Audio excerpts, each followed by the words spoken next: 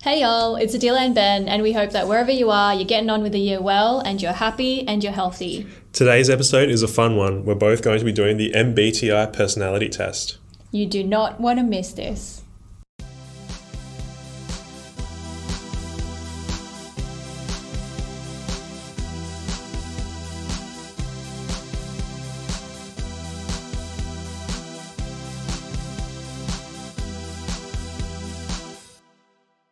All right, so first of all, we'll talk a little bit about what the MBTI personality test actually is. Ben, do you know what it is? Uh, before actually taking the test, no, I only heard about it, uh, just the abbreviation, but I didn't Yeah. know what it was. I know it's actually quite popular. Like a lot of it's quite it's one of the more popular personality tests. So the MBTI actually stands for the Myers-Briggs Personality Type Indicator and it's essentially a questionnaire that you do and it's a self-report inventory which is designed to identify a person's personality type, strengths and their preferences. Today, the MBTI inventory is actually one of the most widely used psychological instruments in the world. Wow, that's amazing to hear. It gives you great confidence as well that when you're taking the test, you're going to get pretty accurate results. I don't know, is it accurate? Because hmm. I've actually taken it a few times at very different time points. And the first time I did it, I got one particular result. The second time I did it, one of the letters changed. And then I actually recently did it a third time before this episode, and I got the same answer as the first time I did it. So today we'll do the test on the show and we'll see whether the results are again the same. I think a lot of it depends maybe on your mood. I think so. Just going off what you just said, I mean, it maybe having the most recent time when you took it, it's probably a similar mood to when you first took it. Maybe Yeah. the second time, you may have been having an off day. But it wasn't like a massive massive change. It was, Okay. I think, one of the first letters, whether you're more introverted or you're more extroverted. I must have been feeling exceptionally social that particular week. I don't know. So I think, despite the popularity of the test, some of the psychologists around the world actually criticize it. And a few months ago, I think there was a, the, an issue in the media where a psychologist said that the Myers Briggs test is unscientific, meaningless, and even calling it bogus. But there are others who take a milder view on the test. Many personality psychologists consider the MBTI to be a somewhat valid measure of some important personality characteristics, but obviously we have to acknowledge the limitations of the test. Definitely. I think it's, well, when you're taking the test, because you're looking for a personality trait, you got to be careful that you answer these questions uh, truthfully and not how you would like to see yourself. I think as well that probably would influence a lot of the outcomes. Yeah, that's true. And you've really got to think within, like look inwards. Yeah, definitely. So what's the backstory, Ben? Who who is Myers Briggs? So, Katharine Cook Briggs and her daughter Isabel Briggs Myers, they've always been a keen observer of people and their differences. This work was inspired by the work of psychologist Carl Jung and his theories. So, for example, the concepts of introversion and extroversion. So, the mother and the daughter devoted their lives to developing the type indicator. They were hoping to help people understand their tendencies and help them choose the most appropriate job for themselves. So the test actually uses 93 questions. So when you do the test, you answer a series of questions and you essentially rate it on a scale of do you strongly agree with the statement or do you strongly disagree with the statement? Where on the scale do you fall? Mm. And at the end of this test, you actually end up with four different letters, a combination of Possible. possible and yeah. yeah, possible letters. So introvert versus extrovert, you either get an I or an E. Whether you're more intuitive versus sensory, an N or an S letter. Whether you think versus feel, T and F, and whether you judge versus perceive, which will give you a J or a P letter. And based on the combination of these traits that people fall into, the test ultimately assigns you one of 16 labels, such as INTJ, ENFP, etc., etc. That's really interesting. I mean, trimming down an uh, original test of 93 to a subcategory, it makes me wonder what if There how much your answers would vary or your outcome would vary. Could you be more than one type as well? Exactly. That's what I'm wondering now as well. I think that's the thing as well. Back in the day when people were doing this kind of research and especially looking at personality and stuff, it's kind of looking at psychology, isn't it? Why you do or act a certain way. And bef- like that's actually one of the hardest things to measure because when you think about what we do in the lab, oh, I want to measure the concentration of a metabolite in plasma, you can actually quantify that. Exactly. Whereas trying to study someone's personality, that's more tricky. It's forever changing. Uh, metabolite is definitive, Yeah. whereas in like I don't know, someone's mood would be significantly different on a Monday and a Friday, for example. And does society impact our personality? Maybe 100 years ago, yeah, people's personalities would be different to. Definitely. And No, I don't know. I think it would be. And even lately, there's a lot of studies that show that people's personalities and their behaviors, even the way they talk, has been influenced by the people that have been surround that surround you every day.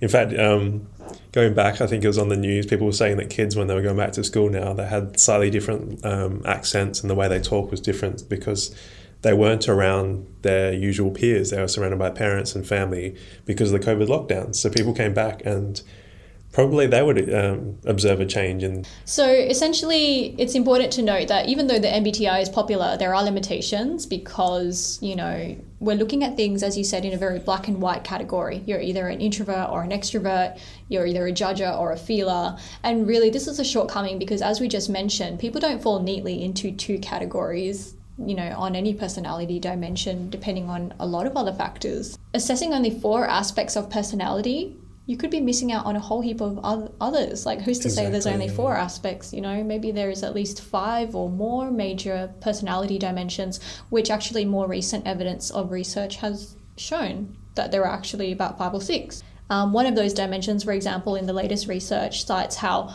honest and humble someone is versus how deceitful and conceited someone is, which is actually not taken into consideration in the MBTI personality test. But in terms of benefits, it's not an entirely useless test. People are drawn to these particular tests out of a desire to further understand themselves, which is, I mean, I, I like knowing more about myself. And then when I read the results, I'm like, this is so me. Like, Yeah. and I know a lot of jobs, or maybe not a lot, but some jobs require you to do some sort of personality test before you get hired just to see how good of a fit you might be. I've heard that. Have you yeah, heard that? I've heard that. I think yeah, compatibility with the job, but may also be with your colleagues as well. I Yeah. think just for a well-oiled machine. So ultimately, it's not the MBTI label, but the power of introspection that drives the insights and sometimes fuels our motivation to take steps to change one's condition. Definitely. All right, so um, we're actually going to do the test. It'll be interesting to see whether I get the same result.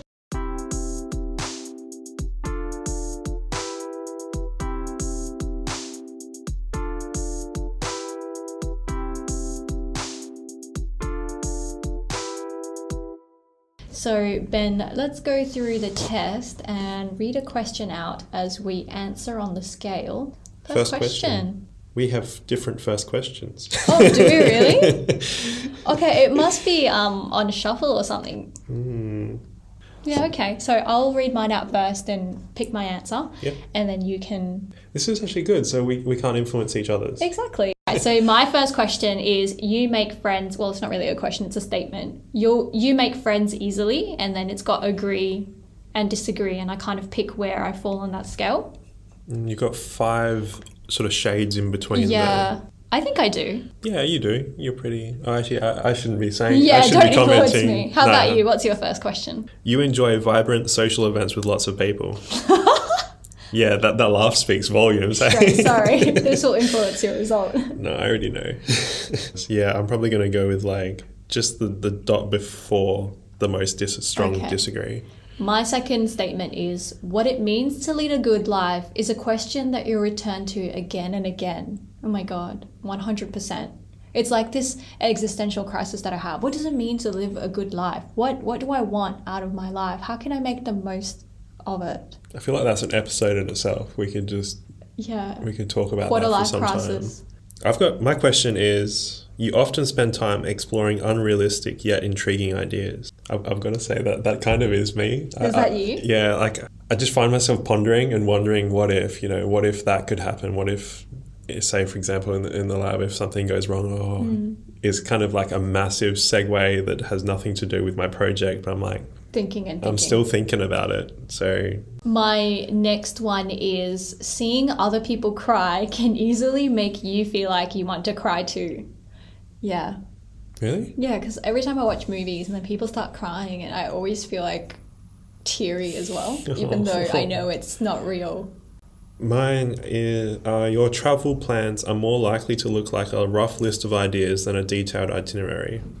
I feel like that kind of varies. Like, I'll have a list of where I want to go, and I might say I'll be here. Say it was an international trip, I'd be like, I want to be here one day. I'll leave on like the Friday. And I'll go there somewhere else on a Saturday, on a Monday. But then is it like I might have a list of things. like a but list of places you want to go put into different days, or is it like at one o'clock I'm gonna get up and have breakfast? Sorry, at nine o'clock I'm gonna get up, have breakfast. Um, in the morning we're gonna make our way to the market, and then from the market we're gonna head to the next destination. We're gonna have dinner at nine. I already have a restaurant in mind. Oh my then- goodness, no, I'm not that person. I'm So like, would you say like a like a rough list of ideas or a detailed itinerary? I'd have a, a rough list. But maybe I might be like, I want to do this on that day. So uh, I'm just picking the ones before the biggest bowl. I feel like that is already a limitation in itself because some people actually research shown when they're doing a survey, they Hmm. feel weird or something about picking the most extreme options. So they always fall in the second last or the second most Yeah. categories as well, which is I think what's happening to you. I know. But out of that comment, I just picked the biggest degree. Oh, okay. See, I don't know whether that's influencing the result then. yeah.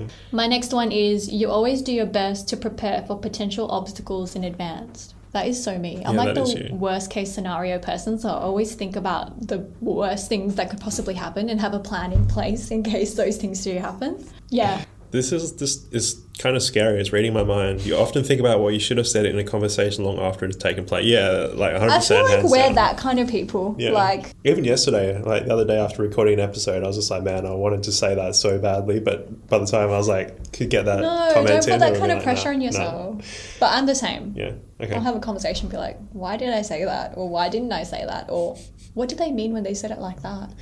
Why did they put their hands this particular way? Like, My hands are on the table. yeah. um, my next statement is you're us- you usually stay calm even under a lot of pressure. I don't know. I don't think I've ever been under a lot of pressure before, but I also try and not put myself in situations where I'm under pressure. So if I've got deadlines, I'll always be working bit by bit. So on the day before, I'm not manically rushing to get things done. Like I try and stay a few steps ahead. So I've never really been under a lot of pressure. But how would you say you respond to like a bit of pressure? Because I know you're feeling a bit of stress from your PhD at the moment. Yeah, do you think I try and stay calm though? Like, I think you stay calm. Do I have moments where I freak out? But You have moments when you freak out. But I, I think I agree. Like I'm usually calm. I wouldn't. Yeah. Maybe in my mind. I think I keep it more in my mind. Like I might chat with you, get a bit of a mm. pep talk, but then I'd constantly be worrying about things in my head. But I don't think I project that outwards. Even at work, while I was working.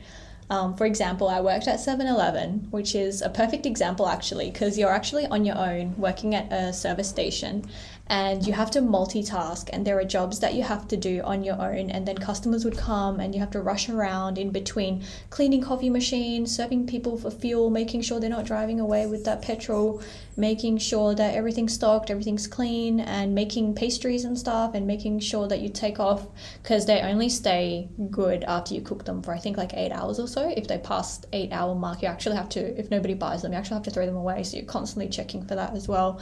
When the next cycle of putting on hot pastries on would be. So I think that was high pressure, but I think I handled that quite well too. Okay. Okay. So I want to say yes. I usually stay calm even under a lot of pressure, but I won't pick the biggest bubble. Okay. Uh, that's what I was thinking you'd fall somewhere like in that one second or third notch before. Oh, I don't know. Now I want to change my answer. it's too late for that. Too late. Okay, what's your next one? If your friend is sad about something, your first instinct is to support them emotionally, not to solve their problem. I don't know. Do you listen and offer emotional support, or do you try and cheer them up by going, "Okay, we need a game plan. This is what you're going to do." I think I, I come up with a game plan, but I don't spit it out straight away. I think it's a bit of a blend. I might have some emotional support, but then I'll hit them with a strategy. I'm such a problem solver though, because like you're sad, yes, but Yeah. focus on moving forward. I think I'm going to have to disagree. Uh, I'll probably, so you support them emotionally, but then I'll try to solve their problem. not so you would disagree. Yeah, Okay, I think so. okay, Like but which smallest, bubble? the but the smallest. smallest. Or maybe I could be in the middle. I don't know. I feel like the middle one is. I don't know. So just close my eyes and just go no, no, no. Think about it. Look inwards. If your friend is sad about something, your friend, your first instinct is to support them emotionally and not to solve their problem. Depends on the friend. Um, you could always pick the middle if you really can't pick. I can't pick. Because it sounds like you do both at the same time. You offer advice. I know with our pep talks, because I'm the kind of person that needs a game plan, you would support me emotionally and listen, but then you would be like, what are you going to do about it? Mm, What's the plan? yeah. Okay. Which is what works for me. It may not work for the next sad friend that comes to you, so maybe keep that in mind. Exactly. I think maybe it depends on the problem, the friend. Like you, Yeah. you sort of Middle, you reckon? feed, you feel off them, and then you, I don't know, It's you like, give do them what they need at Do the you time. want me to listen, or do you want me to listen and give you advice? Exactly. Some not gonna, people just want you to listen. yeah. You might, you're not going to tell them just to zip it, sit down and listen. Well, it depends on. Depends on- No, yeah. depends on what they're really sad about. I'm going to click the middle one. All right, my last one before I click the next button. At social events, you rarely try to meet new people and mostly talk to the ones you already know. I mean, like, I float around and say hi to acquaintances too. but it depends. Like, am I at a really big party or am I at. Say you're at a conference. I think it depends on the mood and the day and the environment as well. Because some days I can be feeling really social and other days I'm really drained and I just can't be bothered, depending on whether the event is something I'm passionate about or not. Yeah, I think I want to agree that I usually stick with people that I know, but it's not that. Like, I would still socialize. So I think I'm going to pick, yeah, that one. For those of you listening, she just picked the one to the right of the strongly agree. Yeah, or second biggest. Um, my, my question is people can rarely upset you. No, people c- can upset me. But to which bubble level? yeah. And how easily do they upset you? Because the statement specifically says rarely. Do they rarely upset you, or do they always upset you? Do they medium always upset you? I think I'm going to pick the. People can rarely upset you, agree. Yeah, but yeah. the smallest agree bubble. Yeah. Okay, it says that we're 10% through the test, Ben. Oh my goodness, I think we might need to pick up the pace. My next one is you are very sentimental. Yes, I've kept like every single card anyone's ever given me. Oh, really? Oh. And I find it hard to delete pictures. Like, I love Yeah, that makes sense. I've Yeah. seen how much um, storage your photos takes on your iCloud. Yeah, most of them are useless screenshots, but but yeah, strongly agree. If you have to temporarily put your plans on hold, you make sure it is to your top priority to get back on track as soon as possible. It goes back to the initial thing. It's like you've you've already put your plans on hold, so it already wasn't a top priority. And then to say it's a top priority to get it back going again, it's like, where does it fall within the list? But maybe it's a circumstance. Like for example, I'll use you as an example.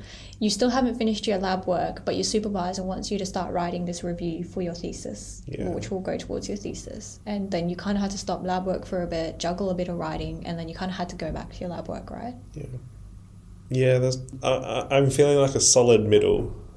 All right, my next statement is there are usually certain and specific ways you like to do things. 100%. Yes, I was going to say, if you don't click it, I will. you rarely worry if you make a good impression on someone you met. Mm, yeah, oh, no, I worry. I worry. So that's like a, a disagree. Um, even a small mistake can cause you to doubt your overall abilities and knowledge. Yes, because I'm such a warrior. Warrior, like I worry. It would be a challenge for you to spend the whole weekend all by yourself without feeling bored. That's like my favorite thing to do. yeah, I was going to say, I strongly disagree. You feel comfortable just walking up to someone you find interesting and striking up a conversation. Um, okay, maybe not just like randomly walking up to someone, but yeah, I'd feel pretty comfortable doing that. You're more of a detail oriented than a big picture person. I think at An work, I. I focus it on the details, but then like outside, I always think about where things take me. Okay, what do you think your answer would be? I'm going in the middle again. Cop out. Yeah. Um, you're more inclined to follow your head than your heart. Mm, no, I'm a very emotional person, and if it doesn't feel like right to me in my heart, even if in my head I'm like, that's the best option for you, I think I would follow my heart. But it's like a war that goes on between my head and my heart before I make a decision. that sounds tiring. it is, it's mentally exhausting. Um, you have a careful and meth- method- methodical approach to life. Yeah. You rarely worry about whether you make a good impression on people you meet. This is the first double up we've had. Um, yeah, I, I do worry. So it's going to be a disagree, but I don't think about it that much. Um, when looking for a movie to watch, you can spend ages browsing the catalogue. If that ain't all of us during lockdown on Netflix. that is so true. But then I feel like I have go tos where I'm just like, no, I can't. I, I just can't. Yeah, I'm gonna. I'll go like a second biggest degree. You're prone to worrying that things will take a turn for the worse. Oh, I wonder who this is. Uh, when you sleep, your dreams tend to be bizarre and f- fantastical. I'll, I'll go with small agree. you avoid leadership roles in group settings. Hmm, no, I like honestly can't help myself. I feel like I have to take charge because I have a vision for what the group needs to accomplish. Your way, the highway. yeah, exactly. I'm that person. In your opinion, it is sometimes okay to step on others to get ahead in life. Whoa. That got dark real quick. Um, I wasn't ready for that. No, I don't, I don't think that's no. You're definitely not an artistic type of person. I'm not very creative in the sense that I'm not an artist. Like, I don't draw, like, I can't draw. I consider myself artistic in different ways. Like, I feel like writing. And is this podcast not art? Yeah, no, that's true. It's not too late to change your answer. if you made a mistake, you tend to start doubting yourself, your abilities, or your knowledge. Yeah, I gotta strongly agree with that. Strongly agree. You prefer to do your chores before allowing yourself to relax. Oh my god, this is so me. Um, my mum is the complete opposite though. I'm like, how can you sit there when you know you've cooked, you have dishes in the sink, you're sitting down enjoying TV, going, I'll do it later. But in my head, I'm like, no, I need to clean up, and then I can sit in peace. So 100 percent Okay. You usually lose interest in a discussion when it gets philosophical. Yeah, strongly disagree. Frequent alone time is a necessity for you. Yes. You feel more drawn to places with a bustling and busy atmosphere than to more quiet and intimate ones.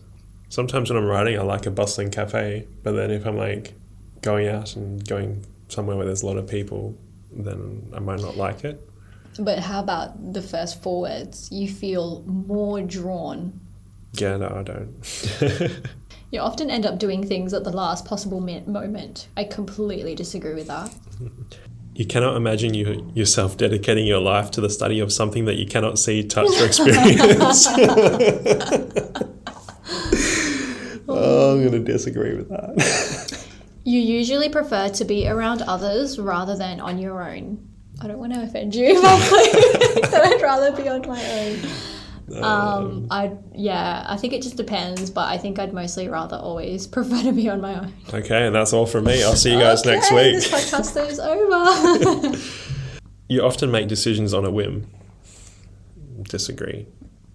you find it easy to empathize with a person whose experiences are very different from yours. Yes.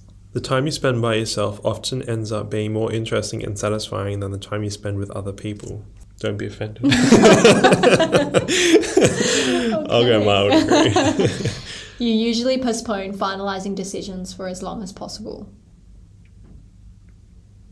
like this decision?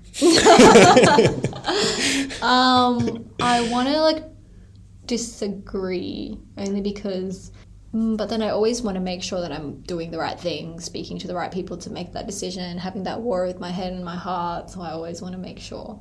That Okay. you're well informed. Yeah, maybe it is. Yeah. Okay, okay. You often put special effort into interpreting the real meaning or the message of a song or a movie. I'm, I'm going to go a small disagree. You rarely second guess the choices that you have made. Disagree, small. You always know exactly what you want. yeah, that's surely the biggest disagree. No, no, don't let me influence you. After a long and exhausting week, a lively social event is just what you need. Mate, if I've just had a long and exhausting week, I will be at home. You rarely think back on the choices you made and wonder what you could have done differently.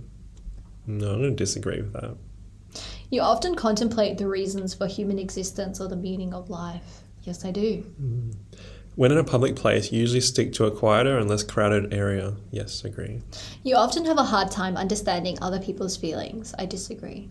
You tend to focus on present realities rather than p- future possibilities. Yeah, that's true.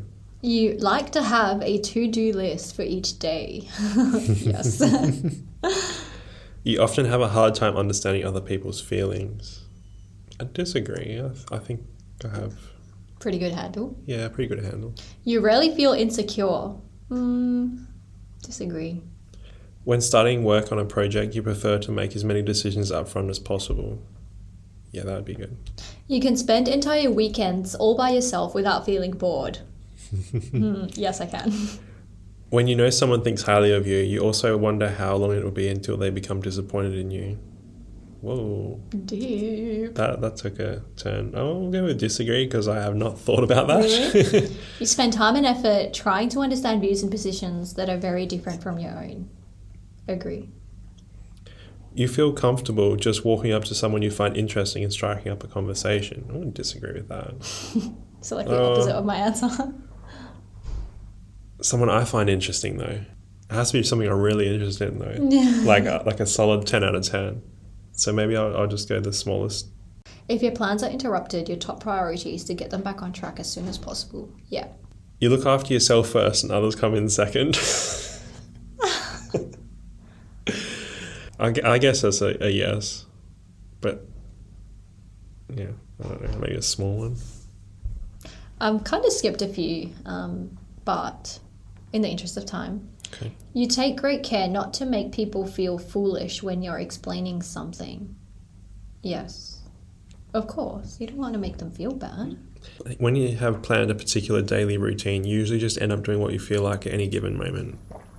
Oh, small disagree. Your personal work style is closer to spontaneous bursts of energy rather than organized and consistent efforts. Yes. Because like when we when I have this massive burst of energy to go and recruit, you would egg me on and be like, "Yeah, go, go while you're feeling while you're on that high wave." Yeah. Because when I'm like on that low wave, I can't have consistent effort. so yes, agree. You have got detailed education or career development plans stretching several years into the future. Oh, got to agree. You would love a job that requires you to work alone most of the time. Um, I think I would get really bored, even though I like to be by myself. I think at work you'd kind of want to be. So I think I would small disagree. You rarely dwell on your regrets. No, I oh, sometimes I no. I, I rarely dwell. You often feel overwhelmed. Second smallest agree. Spending time in a dynamic atmosphere with lots of people around quickly makes you feel drained and in need of a getaway. I gotta strongly agree with that. You feel more drawn to places with busy, bustling atmospheres than quiet, intimate places. I think you had that. Do you remember what you put? Quiet. Really, I'm the exact opposite. Like, give me a crazy hustle bustle city. I would just go in there, like explore. I just love that energy. Okay. Okay. Agree. Uh, you find it easy to empathize with a person who has gone through something you never have. Somewhat. You struggle with deadlines. I disagree. I like deadlines. Your personal work style is closer to spontaneous bursts of energy rather than organized and consistent efforts. Yeah, I've got to agree with that. Strongly I agree. I think this is the last page for me, Ben. I think I skipped a few. I'm on 90%. I'm on 100, so I'll see my result. You keep going and read your answers out. Okay. Your emotions control you more than you control them. Um, I small agree. After a long and exhausting week, a fun party is just what you need. I strongly disagree. You frequently find yourself wondering how technological advancement could change everyday life. Yes, 100% strongly agree. You also consider how your actions might affect other people before doing something. Strongly agree. You still honor the commitments you have made, even if you have a change of heart. Strongly agree. You rarely feel insecure. That's like a second strongest disagree. Let's see result.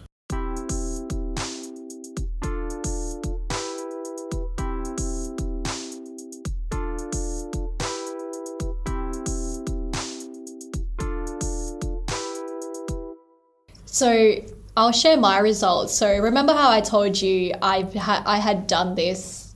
This is my fourth time doing this test. The first time that I did it, I got ENFJ.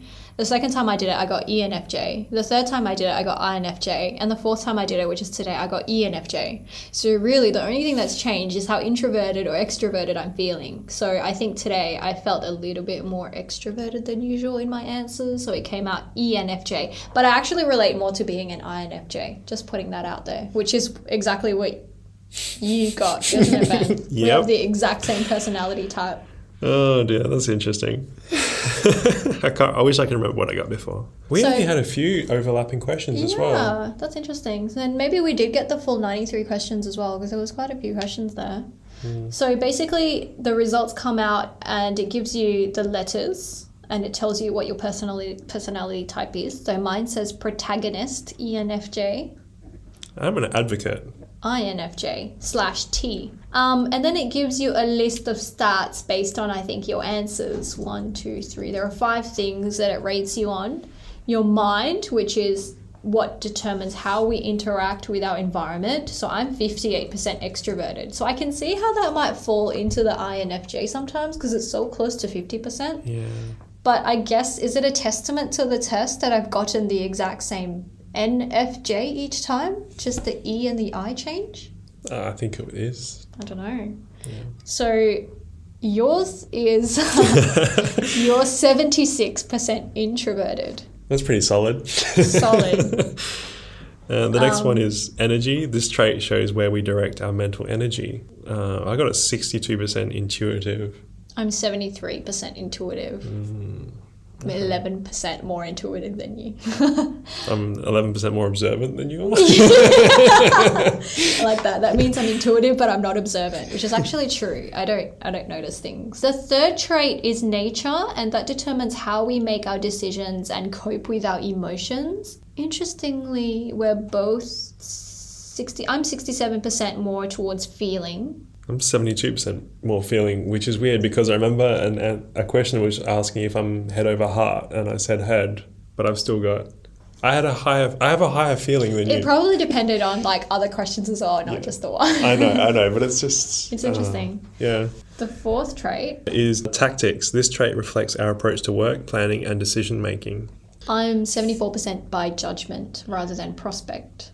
Uh, 58% judging, 42% prospect. And lastly is the our identity. This trait underpins all others, showing how confident we are in our abilities and decisions, which we clearly aren't because the T stands for turbulent, which means we're constantly like in our head worrying about the choices and decisions and emotions that we have. I'm mm. 71% turbulent. 61% turbulent. Damn, but that fits me so well. Yeah. There are a couple of other things as well. They give you like a whole um, paragraph, introduction, you know, your strengths and your weaknesses as well. So apparently, one of my strengths is that I'm tolerant. I'm also reliable, charismatic, altruistic, and a natural leader. but some of my weaknesses are that I'm overly idealistic, I'm too selfless, too sensitive, I have fluctuating self esteem, and I struggle to make tough decisions. Lord, if that ain't me. What are your strengths and weaknesses? I'm creative, insightful, principled, uh, very passionate, altruistic. Some of my weaknesses I'm sensitive to criticism, reluctant to open up. I'm a bit of a perfectionist. I avoid the ordinary, and I'm prone to burnout. Yeah, I'm definitely. Yeah. Are you there now? um, and then it tells you a little bit about your friendships, what your parenthood style would be like, what your romantic relationships would be like. Career Um, paths as well. Yeah, that's interesting. There's there's a lot of information there. Definitely. I wonder how me it is. It kind of seems to be. Apparently, some careers that fit my personal personality type, including social work, religious work, teaching, surprisingly Hey. or unsurprisingly, Unsurprisingly. Counseling and advising of all sorts are popular avenues. This attitude, alongside their social skills, emotional intelligence, and tendency to be, quote unquote, that person who knows everybody. I swear sometimes my friends say that about me. You literally know everyone. Like, we would walk around uni and I'd like wave to a few people that I know. They're like, who are they? Like, how do you know everyone? It's like crazy. Yeah. No, I, I've been. I walked around a little bit with you before, and you, you've known a lot of people. You're Like a local celebrity. No, come on. I have some specific needs when it comes to a satisfying work environment. yeah, I, yeah, definitely. Sounds stressful. Maybe that's why um, workplaces want people to do this test because they see this personality type come up. They're like, no, we ain't hiring this person. Exactly. Um, apparently, I'm a very likable person, and this quality propels me to success wherever I have a chance to work with others. I myself, as an advocate, can be quite popular and well respected. nice. That's really cool. I feel like most of these things are accurate of my personality. Do you? Yeah. What do you think? I think so. I think hit the nail on the head. Um, but at the same time, I think that uh, I just read what you have read so far is just an introduction to the complex concept that is your personality type. You may have muttered, muttered to yourself, wow, this is accurate. It's a little creepy. Um, this is not a trick. You felt understood because you were. We've studied how your personality type thinks and what they do, what they need to do to reach their full potential. Wow, that's literally what we were just saying. So accurate. Um, I do agree with most of this, except I think the problem for me is depending on how I'm feeling. Because you saw the results, they were very borderline introverted slash extroverted, and I've had 50%, 50% each of the four times that I've done the test.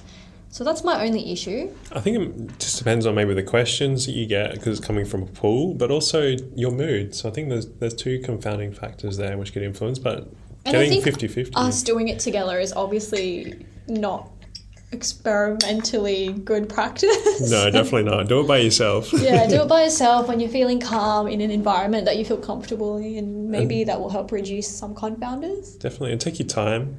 Consider each question and all its possibilities. Yeah. So, does your result fit you, Ben? I would say so. Yeah, pretty Yeah. happy. I'm pretty happy. You're It's probably going to email those results to yourself and have a proper look at them later, or Definitely, there's a lot of reading there that, um, to do. I mean, we only just covered, we, we barely covered uh, each of those headings, and there's still, so much more to look at. yeah. So that was really interesting. A great way to learn more about myself and, and about you, Ben. So if our listeners are interested in trying out this MBTI personality test, um, we will supply them with the link to the free test that we took, either on our Instagram or on our um, podcast episode notes. So look out for that and have a go and do comment. Let us know what you get. It would be interesting to know, you know, whether our groups of friends who are listening have similar personality types or whether our listeners have a large range of different personalities. Definitely. And if you've taken it before, did you get the same answer? Yeah, I'd be curious to know as well. I can't be the only one who's borderline intro and extroverted. Exactly. But everything else was pretty spot on with the NFJ slash T sub. we have letter. some consistencies. Yeah. All right. I think we're going to wrap it up. If you'd like to try the test, we'll pop the link again on wherever you can find us on social media and on our podcast episode notes. Thank you so much for tuning in. We'll see you guys in the next one. Bye. Thanks for tuning in. To make sure you don't miss out on our structured rambling, follow us on social media. We are on Instagram, Twitter, and YouTube at So You Think You Can PhD. You can also check out our website on Podpage and Anchor FM. Please rate and review the show, let us know your feedback, and if there's anything you'd like to hear on a future episode. Or even just to say hey, we'd love to hear from you. No, no, no, no, no. Serious inquiries only, please. Thanks again. Bye.